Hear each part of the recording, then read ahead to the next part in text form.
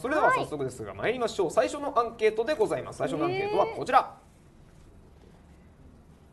え？まず、うん。真摯な態度で君が振り向いてくれるまで。なあ違う。素敵な告白はどれ、うん。あどっちか？どっちか。えー真摯な態度で君が振り向いてくれるまで何年でも待ちます、と上から目線で俺と付き合えよ。あこれお願いじゃなくて命令だから、さあということで皆さん、えー えー、投票してください。なえー、なんかど,、えー、これもう言い方によらない、うん、どっちもさ、うちょっとこうグイグイ系だよね。ん、そうだね。どっちも違ったグイグイだよね。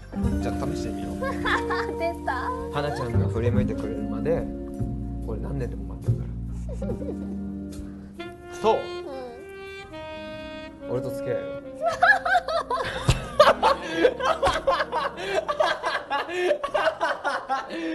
さあ今ので判断してくれ。みんな。今のリアクションで判断してくれね。すごいよとしくん何よあな何が？あなたこれすごいよ。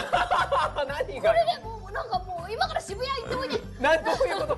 どういうこと？ぱいいっぱい人祭り俺にナンパしてこいってこと？ちょっとやめてくださいよオッケーまだどうですか？投票は。はいオッケーあはい。はい。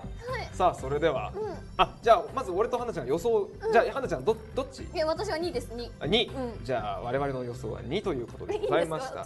いいよ。いい？えーそれでは皆さんのアンケート結果をオープンしていただきましょう。アンケート結果こちらです。